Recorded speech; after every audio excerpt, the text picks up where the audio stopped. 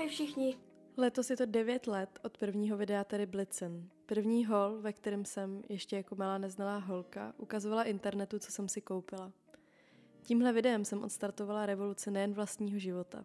Odstartovala jsem tím čtyři roky, který byly splněným snem malý holky a zároveň tou nejživější noční můrou. Vítejte u Čaje který mu dnes, po pěti letech od konce, věnuju místo ve svém podcastu Aura.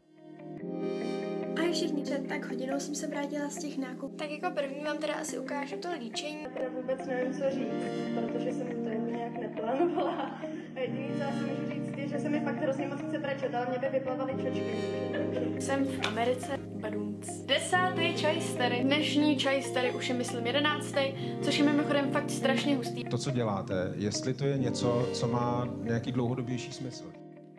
Já mám z tohohle dílu stres už uh, pár měsíců, protože jsem se ho snažila několikrát nahrát a uh, několikrát jsem k tomu různě přepisovala poznámky a scénář a pak jsem zjistila, že když mám úplný scénář, tak sice na nic nezapomenu, ale zní to strašně strojeně a když ho nemám vůbec, tak se v tom zase hrozně ztrácím. Takže uh, dnes doufám, nebo doufám, že tady ta verze bude už ta finální a ta, která za vámi půjde ven. Nostalgicky bohužel nepopijím čaj, ale kafe. Přijde mi, uh, že, že se tím aspoň trošku odprostím od, od toho PTSD, který se který tomu tématu váže, ale uh, ne, myslím si, že dnešní, dnešní uh, díl, nebo teda dva díly, který, který budu nahrávat, tak budou vlastně moc fajn, protože uh, je to, je to už pět let, no, je to pět let od doby, kdy jsem vydala svý poslední video, od doby, kdy jsem se rozhodla, že už tady to nebude součást mě a je to vlastně delší doba, než, ehm, než ta doba, co jsem to dělala. Takže je to hrozně zvláštní, a, eh, ale strašně jsem se těšila, až jednou budu v životě v tom bodě, kdy tohle to budu moc udělat, kdy se k tomu všemu budu moc vrátit a už budu tak nad věcí, eh, že nad tím budu umět nějak reflektovat.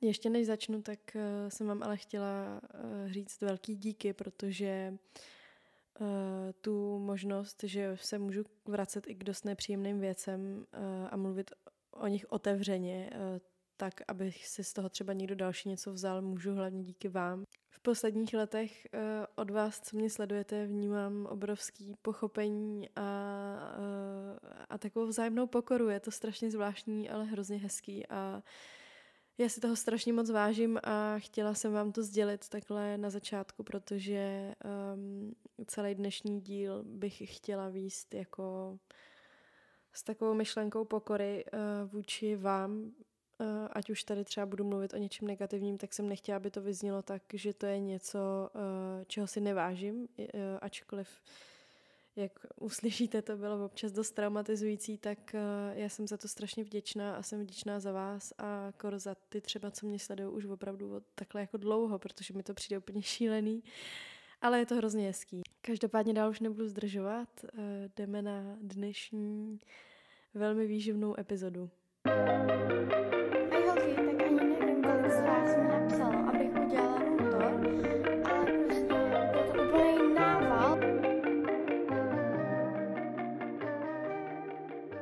První český video na YouTube, první hol, velký sen malý holky o tom stát se slavnou, zpěvačkou, herečkou, tanečnicí. Ale to přece nejde, na to nemám dostatečný talent, ani zázemí, ani styl života. Chtěla jsem tvořit, sdílet, být slyšet a internet se zdál být tím, kdo tohle všechno uměl.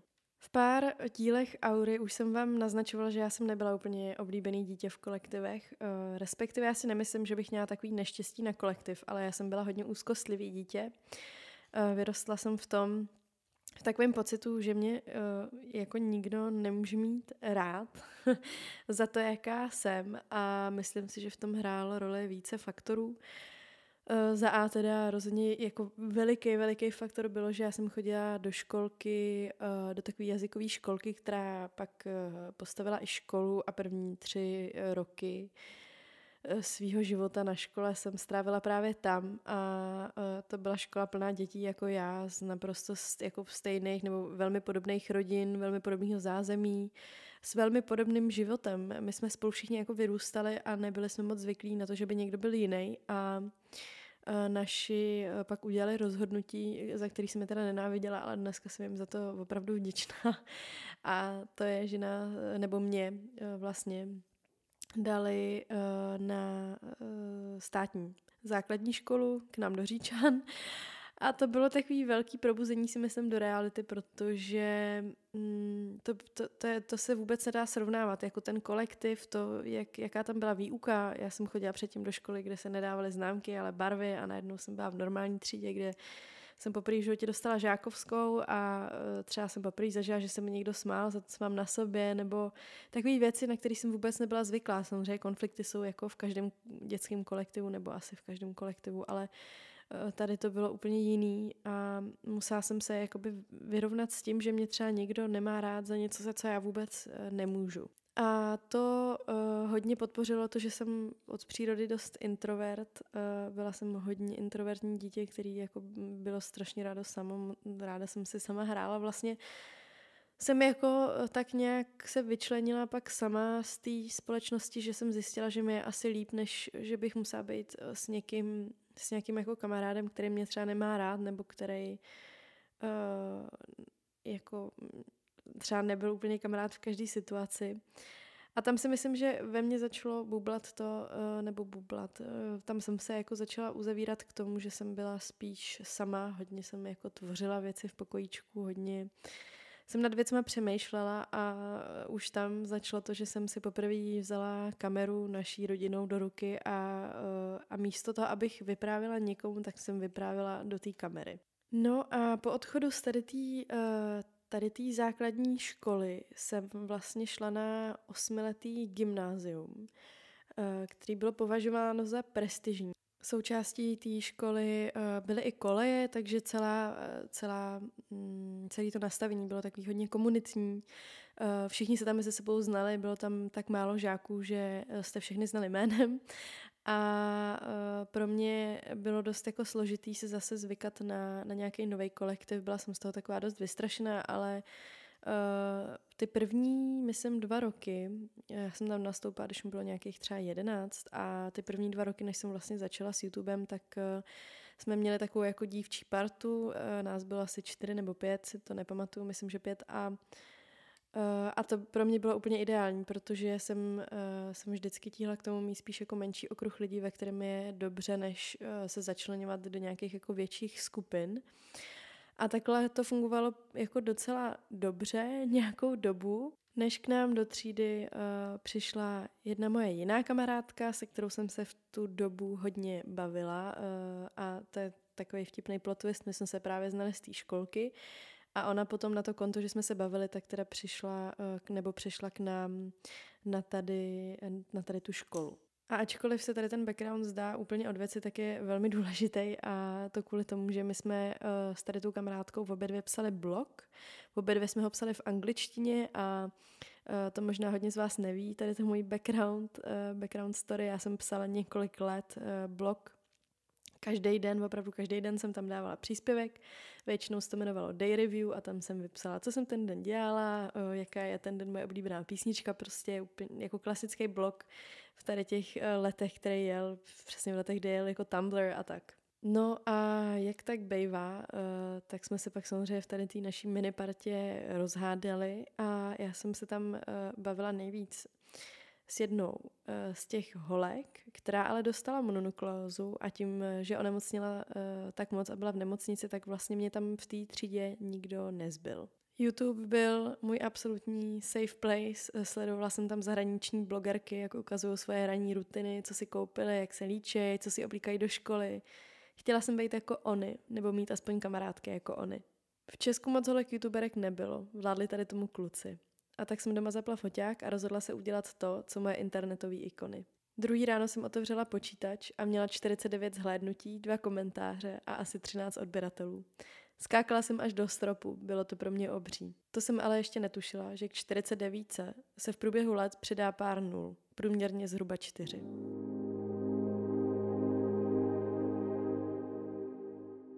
Ve škole o tom ještě nikdo nevěděl, ale s každým dalším videem sledovanost raketově stoupala. Najednou bylo odběratelů 13 tisíc a věděl to už moc dobře každý. A dávali to dost najevo. Pozdrav ahoj holky, byl ten jediný, co jsem slýchávala. Pouštění na chodbách, projektorech, parodování na školních assembly. V roce 2014 nebylo cool být youtuber. Nikdo nechápal, o co jde. Slovo influencer ještě nikdo nepoužíval.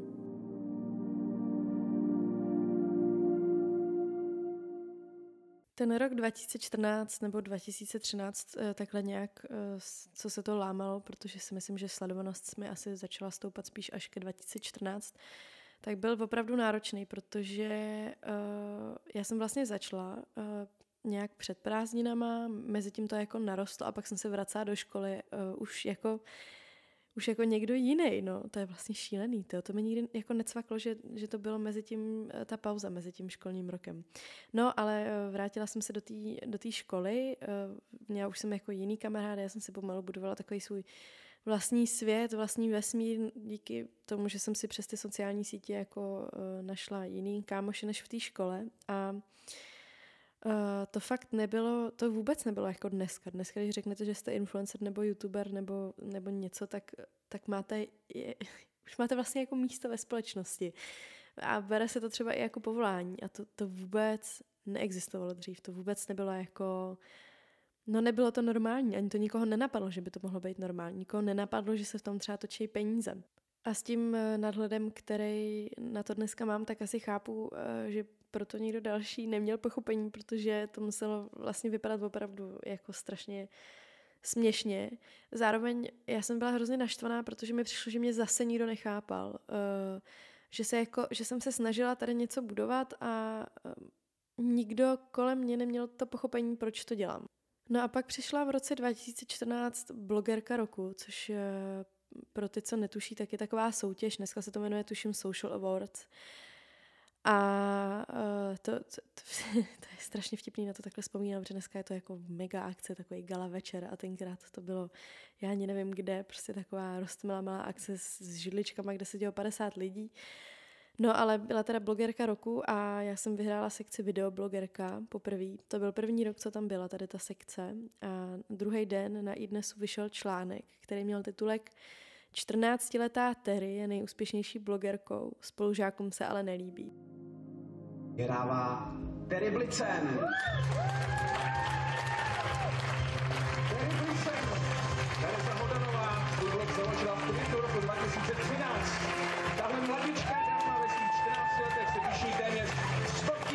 Odběrateli svých videí na YouTube a jejich videa byla předána více jak 7 milionkrát. Jak si vysvětluješ svůj obrovský úspěch? Já vlastně vůbec nevím, protože jakoby to vůbec nepobírám všechno ještě pořádně a tak nějak si nezvykám na to, že to tak rychle narostlo. A když jsem tady seděla, tak si říkám, ty jo, jako pocit by to byl hezký, ale když jak potom fakt řekl mé jméno, tak je to takový spíš neuvěřitelný prostě, takže furt jako nevnímám, vůbec nevím, jsem v šoku. A kdy jsi s vlogováním začala? Asi před rokem a čtvrt. A jaký jsou odezvy? Máš i negativní odezvy? Tak určitě hlavně jakoby v reálu jsou horší odezvy od spolužáků a tak, ale to je vedliš, no to nějak jakoby nezastavuje. No a tohle byl bod, který mě sice vystřelil do vesmíru, ale v něm na mě čekala pěkná černá díra. Ve škole se moje vyjádření samozřejmě nikomu nelíbilo. Děti mě tak přestaly zdravit kompletně a učitelský sbor mi to dával taky dost sežrat. Takový můj oblíbený moment uh, z tady té fáze bylo... Um, já jsem docela často seděla v ředitelně Eh, když jsem, po tom, co jsem dala tady ten rozhovor, eh, ať, ať už s tím, že třeba našli nějaké moje staré články z blogu, kde jsem psala, že jsem třeba nejedla přes den, nebo eh, mi kontrolovali ruce, jestli se nesebe poškozuju, nemohla jsem nosit náramky a tak, tak jednou jsem takhle seděla v ředitelně se zástupcem ředitele i s mojí mámou a tátou a on přede mnou a před nima řekl těsně po tom, co Iveta Bartošová spáchala sebevraždu, že Eh, teď média hledají novou Ivetu Bartošovou a eh, že o tom mají z jejich zdrojů informace a že bych si teda rozhodně měla dávat pozor. A mm, taky prohlásil, že kdybych si sundala brýle, rozpustila vlasy, nemalovala se a, uh, a smála se o něco víc, takže by se se mnou možná i někdo bavil. Následně mě poslali do jedné z největších uh, firm v Česku, která patřila majiteli školy a tam jsem obdržela štos papírů spolu s přednáškou o tom, jak se mám a nemám vyjadřovat v médiích. Eh, mimo toho teda taky obvinění, že mám eh, kamarády pouze ve virtuálním světě a eh, že neumím fungovat v kolektivu, tudíž je vlastně moje chyba, že se se mnou v té škole ty děti nechtějí bavit. A zpětně vlastně chápu, co tím kdo myslel. Mysleli si, že dělám něco, co nemá budoucnost a ničím si tím svůj studijní potenciál. Já jsem se totiž samozřejmě neučila moc dobře, protože jsem do té školy ani nechtěla chodit, eh, brečela jsem skoro každý ráno v koupelně, že už tam nikdy v životě nechci a přemluvala jsem rodiče, aby mě dali na jinou školu. Zkrátka ta motivace uh, být dobrým studentem v tady ten moment začala být úplně nulová, uh, protože mi to nikdo nevysvětlil s citem. Nikdo mi to nevysvětlil tak, jako si myslím, že by se to vysvětlit dítěti mělo a já jsem tím dítětem stále byla. Ahoj holky, takže pár z vás mi napsala, jestli bych mohla udělat video o tom, co bych chtěla dělat, až budu dospělá. Že jsem říkala, že bych chtěla dělat návrhářství nebo psát časopisu. Nějak eh, od půlky roku 2014 uh, eh, se začal pomalu lámat ten můj osobní život, nebo spíš jakoby celkově přišlo hodně zlomů. YouTube se začal hodně rozjíždět, Eh, mnohem víc než, než dřív a rodiče kejvli na to, že teda můžu přestoupit na jinou školu. Eh, od 15, respektive jako od, od prváku na, na střední na čtyřletém Gimplu. A v tady tu stejnou dobu už jsem se znala s Gabčou Heclovou, s tou nás seznámila Sára, to je taky vtipná story. Sára mi totiž napsala na Skypeu před devíti lety a na to, kvůli tomu jsme se začali bavit, pak jsme se jako sešli a od té doby se bavíme až do dnes. To mi přijde strašně vtipně, s tom teda vždycky smějem, když si vzpomenám na to, že jsme se seznámili na Skypeu. Ale Sára studovala hudební Gimple a znala uh, hodně lidí z Pražské konzervatoře, takže tak jsem se dostala ke Gabče a pak teda i ke Zdendovi Piškulovi, se kterým jsem nějak v těch 14 začala chodit, myslím, to byl takový můj první, první láska, první kluk, taky strašně vtipný na to vzpomínat. No, ale uh, teda tady ten rok 2014 zhruba ke konci, tak jsme se uh, začínali jako víc bavit. Uh, takhle já, Gabča a ještě se k tomu teda přidal Zdenda s Jonášem, neboli s Johnny Mačetou, s tím zase chodila Gabča. No a dohromady jsme začali tvořit uh, takovou čtveřici, kterou jsme pojmenovali ze srandy Fame Team a ten název už zůstal. Společně pod názvem Fame Team uh, jsem, uh, jsme spolu vydávali videa právě ke mně na kanál, protože já jsem začala dělat z těch našich výletů a různých akcí se střihy. Uh, myslím, že to začalo videem, když jsme jeli všichni nahory, něco, něco takového. Prostě jsme vydali video, kde jsme všichni a mělo to hrozný úspěch. A nás to strašně bavilo a mm, tohle videa si všimla Coca-Cola, která uh, byla naším prvním sponzorem. To byl tuším i náš, nebo i můj, snad úplně první jako opravdu veliký deal s takovouhle velikou značkou. My jsme s nima uh, začali jezdit jako tváře na různé akce, uh, točili jsme právě tady ty videa a, a pak jsme točili i video z Babblogy. Uh, tam myslím začala i moje spolupráce, já teď nejsem jistá, jestli začala předtím nebo potom. Ale tam se teda objevilo Babblogy, No a první jsem tady v poznámkách měla napsaný, že uh, si nepamatuju, proč jsme se jako parta roz, rozpadli, ale uh, myslím si, že si to vlastně pamatuju, respektive si pamatuju jako nějaký ústřižky. Nás totiž uh, v nějaký moment odkoupil, uh, odkoupila platforma Playtvák, nebo nabídla nám teda, že bychom ty videa mohli vydávat pod nima. A mně se strašně nechtělo, protože já jsem na to měla ráda, uh, že to bylo že to bylo real, že eh, ty videa, které vydáváme ke mně, tak jsou opravdu sestřihy věcí, které jsme spolu vážně dělali a ne strojený videa, které jdou na nějakou platformu. Eh, jenže tam byl eh, jako problém, který vál hlavně z jedné strany. A to je, že ty peníze, které se z těch videí vydělaly, samozřejmě chodily na konto mě.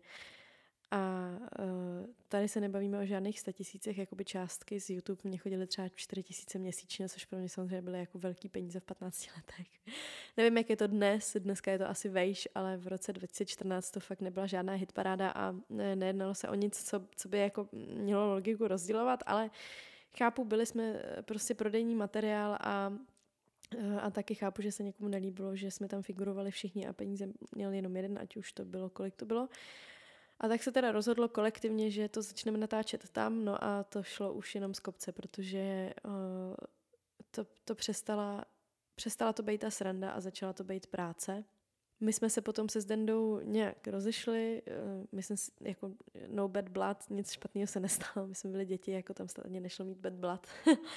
a uh, pak se rozešla nějak Gabča s Jonášem, taky nevím proč, to není vůbec moje věc, jejich věc, takže bych to tady ani neřekla, kdybych to věděla, ale Uh, pak jsme se teda nějak všichni rozpadli a my jsme se pak nějak rozhádali s Gabčou a já bych vám, jako, já bych vám moc ráda řekla proč, ale opravdu nevím proč.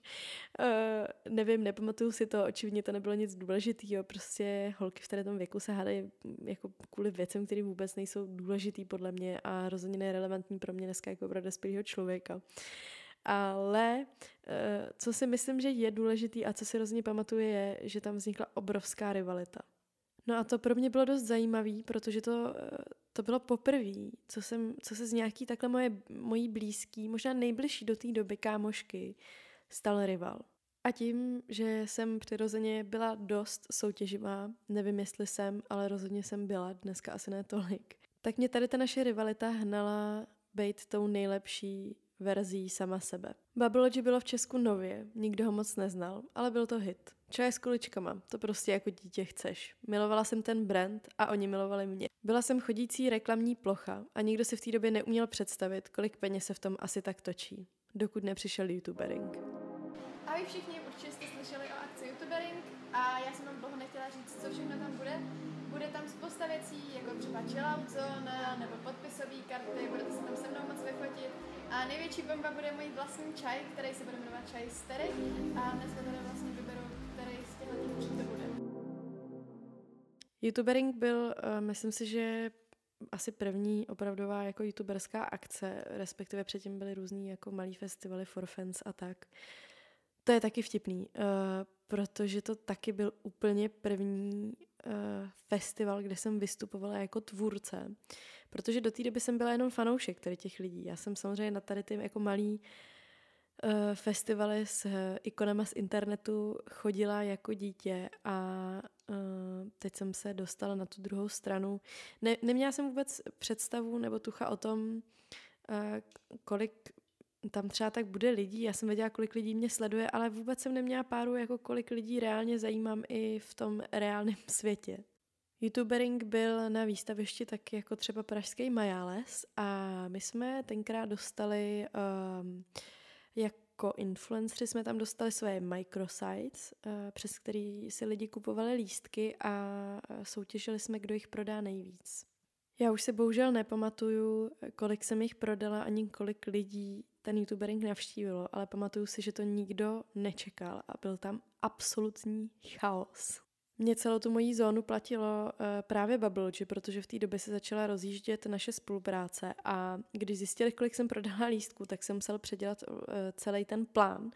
Měli jsme tam úplně obrovský stan. Úplně, já, já ani nevím, jak byl velký, ale na YouTube je ještě pořád video z toho dne, kde je ten obrovský stan. Tam třeba kilometrová fronta, opravdu jako šílenství. A stejně tak dlouhá fronta byla na můj čaj, který tam byl v Babblogy karavanu. V tom eh, stanu, nebo ten stan se pak musel zavřít, protože hrozilo, že spadne kvůli tomu, kolik tam bylo lidí. Eh, já jsem tam já jsem tam byla snad jenom chvíli, protože mě se pak udělalo strašně špatně, třeba po hodině, jakože se mi začala točit hlava, úplně jsem z toho byla, no prostě mě bylo asi pat, no, pat, 15 nebo 14, 15 už mi bylo, tak, eh, tak jako 15 letá holka, která poprvé zažívá to, že tam, že se třeba s někým fotí, někomu dává podpis a v takovémhle měřítku bylo úplně, no úplně na hlavu. A Uh, pak tam místo mě byl můj kartonový výřez, to je strašně vtipný, mě hrozně mrzí, že už ho dneska nemám, protože to byl výřez, který byl větší než já, já jsem tím ještě na starém bytě vždycky otevírala dveře jako party, tri, party trick, uh, protože to byla prostě moje podobizna, která byla větší než já a trošku scary. Tady na tom youtuberingu jsem pak měla i, i živej čaj stery, uh, to jsem možná ještě nevysvětlila, co to vlastně bylo, to byl koncept, který jsem si vymyslela na svůj kanál a který si myslím, že to asi celý nejvíc proslavil. To bylo no, vlastně to, co dělám dneska. To bylo takový vyprávění, akorát, eh, že většinou jsem to spojila třeba s něčím zajímavým, co jsem ten eh, měsíc dělala. Myslím si, že to vycházelo každý měsíc jeden čaj tady. uh, co jsem dělala, ukazovala jsem tam jako v rámci toho různý vlogy, pak třeba nějaké svoje oblíbené věci. Je to vlastně pořád se ve mně točí ten stejný koncept. A to je nějaký svoje jako sdílení věcí, které mi přijdou zajímavé, které obohatí někoho dalšího, ať už to byl day review, nebo čajstery, nebo, nebo dneska aura. Je to, je to vlastně pořád to samý, akorát to má jiný název. No a tady ten čajster byl teda live, uh, takže jsem povídala před lidma a do dneška nezapomenu, já mám teda z většiny toho úplný černo před očima, ale jeden moment si pamatuju a to byl moment, kdy jsem koukala na ty lidi pod sebou, strašně pršelo a všichni tam stáli v pláštěnkách a v dešníkách a já jsem neviděla nakonec jako toho hloučku lidí. Pro mě to bylo úplně nepochopitelné. Já jsem vůbec nedokázala zpracovat, že mě sleduje tolik lidí a tolik lidí tam je živě a tolik lidí tam stojí, přestože leje jako z konve. Byl to fenomén a mě to moc dobře docházelo. Jen to k tomu přidalo ještě jedno obrovský břemeno. Už nešlo jen sdílet, co mě napadne. Chtělo to promýšlet, plánovat, složitě natáčet i editovat. Už nešlo udělat sraz před paládiem jako rok zpět. Nešlo nic bez předešlého přemýšlení a pořádného plánu. Už nešlo být dítětem, bylo na čase se chovat dospěle.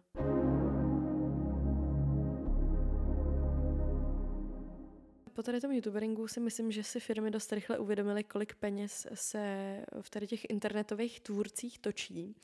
A um, já jsem eh, začala spolupracovat ještě s Roventou. Tím pádem moji hlavní sponzoři byli Roventa, Babology a uh, ta Coca-Cola. Já jsem se vždycky hlídala, abych těch spoluprácí neměla moc a vždycky to byly firmy, eh, které jsem měla opravdu ráda a který jsem, kterým jsem věřila. No ale tím, že mi nebylo 18 a točili se tam docela velký peníze, tak bylo potřeba založit firmu a tu firmu se mnou založila moje, moje máma která eh, se jmenovala do pozice manažer. V momentě, kdy se uh, mamka jmenovala do pozice manažer, se všechno začalo točit o dost rychleji, respektive na mě byl vyvíjen docela velký tlak uh, s tím, co bych třeba měla a neměla brát za spolupráce a jak bych je neměla a měla dělat. A uh, já už jsem vám taky říkala, že moje um, dospívání v rodinném ohledu bylo uh, z části dost krušný a bolestivý, ale uh, je to něco, co nepatří veřejně, eh, k čemu se vyjadřovat eh, nechci víc do hloubky, protože to není moje místo, ne, neomezila nebo neohrozila bych tím eh, pouze sebe. Každopádně to byl jeden z velikých impulzů, proč jsem se chtěla odstěhovat sama do Prahy. A pod záminkou, že se přistěhuji blíž ke škole, jsem se tam uh, na konci roku 2015 opravdu odstěhovala. Nebo počkej, teď vlastně bydlíš sama, ne? Mm-hmm. Tak to je spousta rad, jak můžeš lidem doporučovat, jak bydlet sama, takhle v 16. No, hm. se pod tím lidi představují něco trošku jiného asi, než to ve finále je. Jo, co si představují? Vedle mě všichni to vidí jako, oh, pane bože, party, oh, pane bože, můžu chodit kam chci, oh, pane bože, někdo mě nebude říkat, co mám dělat. A přitom prostě maminka neuvaří, maminka neodveze, nikdo tam nevysaje, musím všechno sám. Když se nekoupíte snídaní, tak není, že jo? Takže ve finále to tak hezký není. Čímž počala nová epizoda mýho života uh, a taky to, taky to byl takový začátek uh, mýho konce. První rok na pořádný střední, poprvé jsem nebyla outsider, ale někdo docela cool. Protože jsem měla follows na Instagramu, svůj vlastní drink u Bubblelogy, znala jsem jiný cool lidi. Zkrátka poprvé jsem byla středem pozornosti a myslela jsem si, že to miluju. Do školy jsem moc nechodila, zajímaly mě spíš různé akce, párty, meetingy a spolupráce. Ani natáčení mě v té době moc nebralo. Už byla mnohem větší konkurence, nový tváře a víc hejtů. Domů se moc nejezdila. Mamku viděla častěji jako manažera než rodiče a tátu skoro vůbec, protože ten s tímhle vším nesouhlasil a já ho nehodlala poslouchat. Nehodlala jsem opět čelit někomu, kdo mě nechápe, když nebylo potřeba. A tak jsem tak existovala v téhle opilosti svým vlastním světem. Ve škole to byla bída, doma ale taky. Utíkala jsem před vším, před čím to šlo, ale obklopovali mě lidi, kteří mě v tom ještě podporovali. Já se svojí uh, párty éře a celý tady té jakoby části budu věnovat v druhém díle, protože, uh, protože na to pak budu navazovat uh, s, více, s více věcma, ale jak jsem říkala, já jsem nastoupila na ten, uh, do, do toho prváku, na tu, na tu školu v Praze a uh, fakt poprvé ve svém životě jsem si nepřipadala jako úplný mimozemšťan. Vlastně poprvé uh, pro mě nebylo těžké se začlenit, protože mě každý znal, vůbec jsem nemusela vymýšlet, k komu si sednu, protože se mnou chtěl sedět skoro každý a uh, já jsem z toho byla úplně, úplně prostě pav, protože jsem nic takového neznala a potom, co jsem žila v tom, že jsem takový nechtěný dítě, uh, který se dřív vyhýbalo i školním obědům a radši celý den nejedlo, tak tohle bylo úplně, to byl úplně nový jiný vesmír, který jsem doteď neznala. Takže jsem si z toho chvíli sedla na zadek a, uh, nebo spíš nesedla teda, chvíli jsem se tím prostě nechala, uh, nechala, nechala opít a uh, hodně jsem uh, kašlala i na tu tvorbu, respektive na to, jako nebyl v tom mém novém světě prostor. Ale dost rychle jsem se z toho probrala. Um, mě samozřejmě jako uh, hrozilo, nebo já jsem, já jsem nechtěla já jsem věděla, že ten můj úspěch uh, lpí v těch lidech a že když se na ně vykašlu, tak oni se vykašlou na mě. A věděla jsem, že, že musím tvořit. Takže pak jsem to zase otočila a uh, nechávala jsem si od Babblogy třeba zaplatit profesionální kameramany na, tě, na některé videa. Uh, a pak, pak jsem to editovala podle amerických youtuberek a tak. Uh, prostě jsem chtěla zůstat na tom vrcholu, na kterým jsem byla a myslím si, že se mi to pak zase podařilo. Každopádně ten můj uh, život už byl jako úplně jiný a tady vlastně začalo to, že jsem tvořila obsah, který už se mnou neměl moc společného. Protože všechny ty videa, které mě bavilo dělat, tak neměly, uh, neměly úspěch, neměly ohlas, protože na to ty lidi, kteří mě sledovali, nebyli zvyklí a tak jsem, uh, tak jsem prostě tvořila to, co, to, co po mně bylo chtěno. Což se zase obrátilo, uh, obrátilo v, v, přesně v to, co to bylo předtím, um, což znamená, že cokoliv, co jsem udělala, tak jako mělo úspěch, ať, ať už to byl nový bubble tea nebo merch nebo cokoliv. A potom po tady tom jako high, tak přišla první rána a tou první ránou byl Tuma, který vydal video, kde rozebírá složení bubble tea. Taková záplava mailů od vás diváků a dost, abychom se tomuto tématu věnovali, nám už hodně dlouho nepřišla. V současné době obrovsky módní bubble tea. No a tak jsme se vydali do českých obchodáků, bubble tea nakoupíme, pošleme do laboratoří a uvidíme, co ve skutečnosti obsahuje. Tak firma Bubblelogy právě tam masíruje zákazníky, především mladé lidi a děti kampaní, ve které používá jejich vzory natáčející videa na internet. Na svých stránkách tvrdí, že absolutně žádný z čajů neobsahuje umělá barviva. Uvnitř kuliček je přírodní šťáva a nápoj můžete mít zcela bez cukru. Tak kvůli youtuberům, jako je třeba tahle holčina, si některé děti dávají Bubblelogy třeba i dvakrát denně. Myslí si, že je to cool a že je to zdravý. No, uvidíme, co ukáže laboratoř. Barviva, cukr a plný éček. Wow, kdo by to od modrýho čaje s kuličkama čekal, co? No, ale já vážně ne. V 16 jsem totiž neměla ani tucha o tom, co tak obsahují potraviny, natož čaj, který jsem pila už tři roky v kuse každý den. Vycházely články, videa, moje komentáře byly naštvaný rodiče a zmatený děti. Jak si mohla tahle zbohatlická youtuberka dovolit vydělávat na našich dětech něčím, co jim ničí zdraví? Seděla jsem já, moje mamka a celý Babblogy tým u velkého kulatého stolu. Čekala jsem, že mi to někdo vysvětlí, že mi řeknou, že to, co se píše a říká, přece není pravda a vysykají mě z tohohle průseru, za který nemůžu. To se ale nestalo. Hučel do mě majitel, celý marketingový tým i moje vlastní máma. Že přece tady pro mě vždycky byli. A tak bych tady pro ně teď měla být i já. Na to rovnou vrhnu, že to nebudu nějak kecávat. Uh, poslední dobou se stalo strašně věcí okolo bablu a takhle. A já jsem to dlouho nechávala být. Hned vám řeknu, jak to celý bylo, ale dlouho jsem to nechávala být, nechtěla jsem se k tomu vyjadřovat, ale myslím si, že si zasloužíte vysvětlení z mojí strany a taky bych vám ráda oznámila, že spolupráce s Babblogy končí.